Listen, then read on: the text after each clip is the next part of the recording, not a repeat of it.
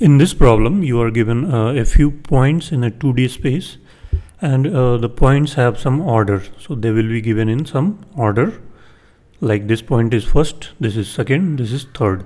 And your task is to uh, find the minimum uh, distance, minimum time you will take to visit all these points in order. That is first this point, you will start from this. And there are some constraints on how you can uh, travel in this 2D plane. So let's see. So you can either travel. So if you are at point xy, this is xy. I'm writing it here, this point. So you can take one step to the right and every step will count as one time unit. So these are the steps that are allowed. So either you can come here. So let me draw a square around this square of side 2 so either you can come to this which is x is x plus 1 and y. This axis denotes y or the second coordinate. This is the first coordinate or x. So these points first one will be along the horizontal axis and the second one along vertical axis. So what is this point? This is x plus 1 y is unchanged here x is unchanged x y plus 1 and this is mirror of this. X minus 1 y. Here it's x y minus 1 so these are four directions. Then you have these diagonals also. So this is also just one unit one time one distance and what is this? This is x plus 1 y plus 1 this is x minus 1 y plus 1 this is x minus 1 y minus 1 and what is this? This is x plus 1 and y minus 1 so what's common among all of these distances? So if you see this point here x component has changed by 1, y has not changed by anything. So the difference was 1 0. Here the difference is 1 1. Then here the difference is uh, 0 1. Similarly here it's minus 1 0 and one more it's 0 minus 1.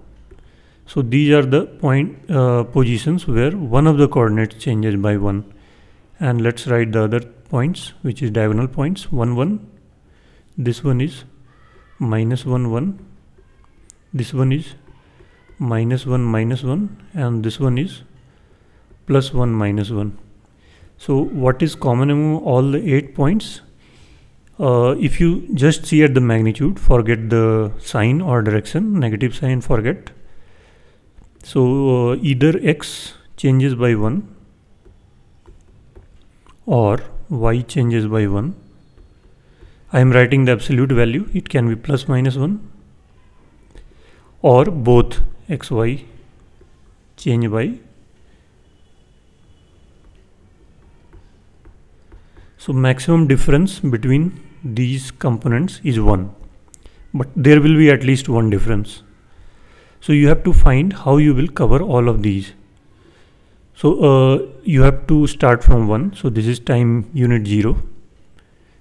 You cannot take straight go to here since it's 3 and this is 4. So if you are at 1 1, if you go diagonally you, you will go to 2 2 then 3 3 so you will reach here. Then you will take up. So this is the minimum possible. So you have visited first, second. First you start, second you reached. Now you have to go to 3. And this is 3, 4. And this is minus 1, 0. So you see that what is the difference between 1 and 2. So it was 1, 1. So 2 minus 1. What will be the value? This will denote dx dy that is difference required to reach from 1 to 2. So here x has to be changed by 2.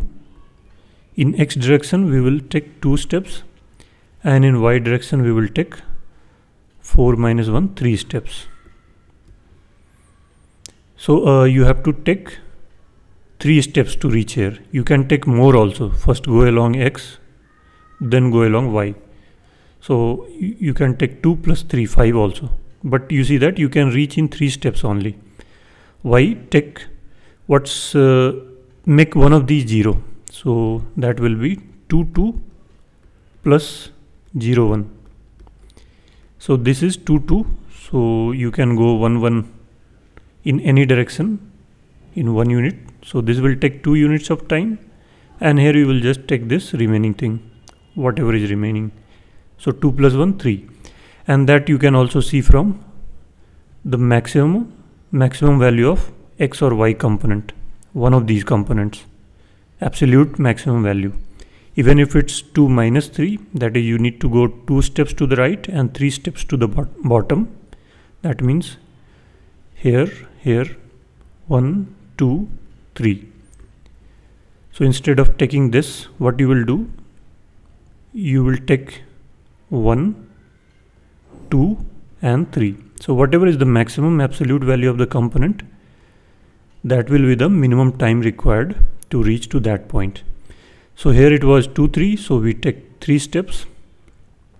So let's draw the points here how we will reach here. It's 3 4 if we go diagonally we will reach 2 3 that is here. Then one step further both will reduce by 1 so this is 2 3 we will come to 1 2 that is here. And then 0 1 which is here and then finally we will reach this minus 1 0 so how many units we have traveled 1 2 3 4 5 6 7 so the answer for this will be 7 so this is the minimum time required to visit all these points in order. So the approach here is again, uh, you will see what is the difference between these two.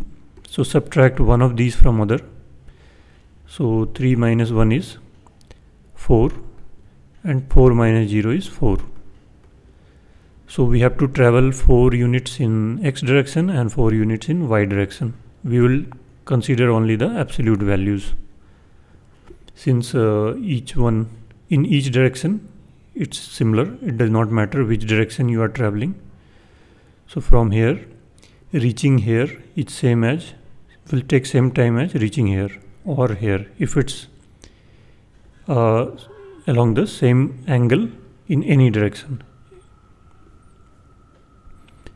So uh, here it will take 4 units. So even without drawing this you can calculate. You will see what is the difference between these two.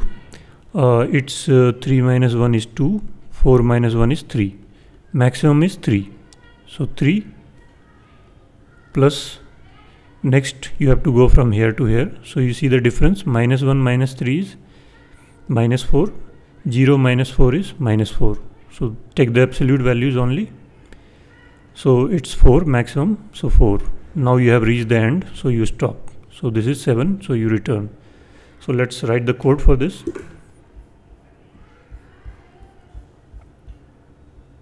So first we will write in C++, then we will move to Java and Python. So this is the problem, the same example.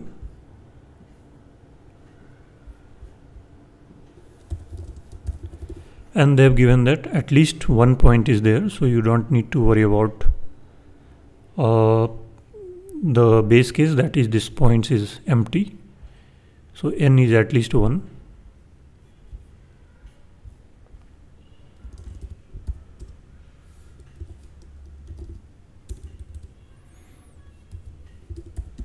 so p1 from where we will start initially it will be the first points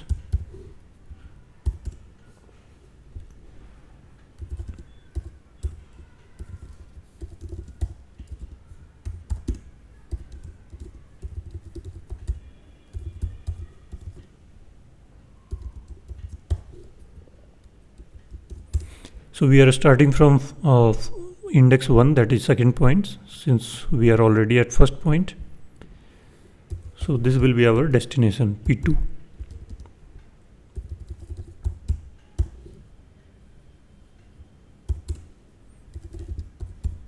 dx will be p2 0 minus p1 0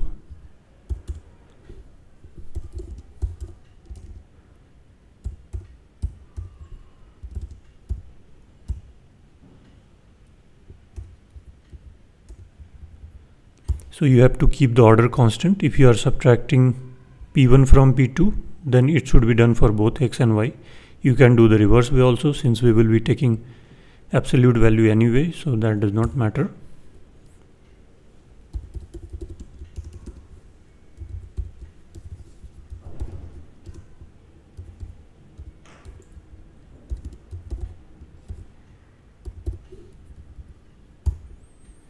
And once we have reached P2 for the next step this will be the starting point. So now P2 becomes P1 is the P2 that is we are we are at P2 and next point will be P3 so this will get assigned to P2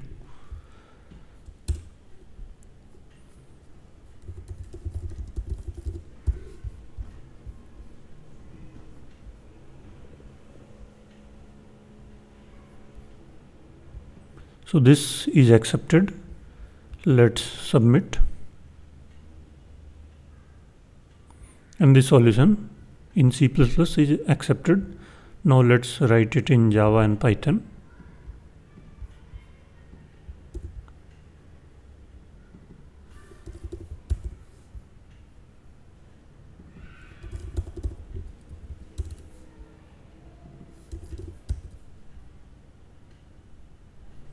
uh, here we could have taken by reference as well.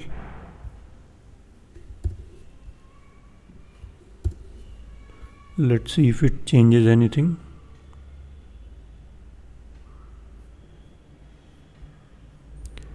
Okay let, let me make it a vector of int. I think this was not there uh,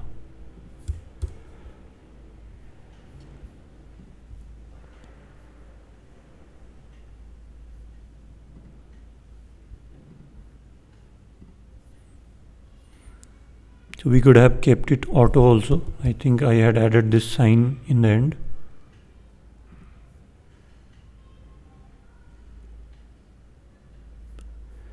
So not much improvement. Uh, so let's move on to Java. Uh, here it will be math.max and math.abs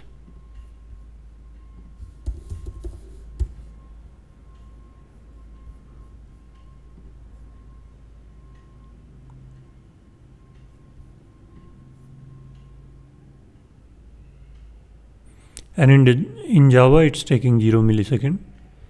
So we are better than 100% in terms of time as well as very close to 100% in memory. So same algorithm but performs differently in different languages.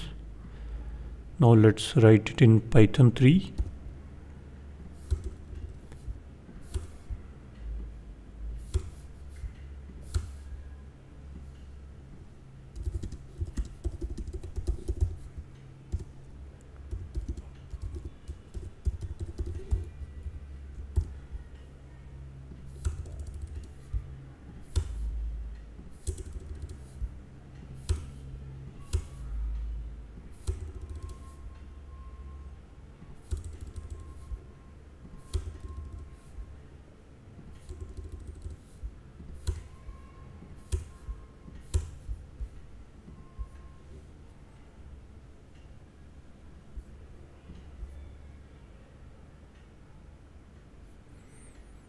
in python also it's not bad. So what is the time complexity here? Uh, we are starting from first point and this all is constant. Subtracting one point from other we are subtracting two values so this is order one. And uh, we are doing it for one point at a time. So it's uh, proportional to the number of points. So if there are n points the time complexity would be order n and we are not using any extra space. We have just a few variables. So this is the space complexity. This is the time complexity. So i ho hope you understood the problem. It was a very simple problem. You can uh, try out yourself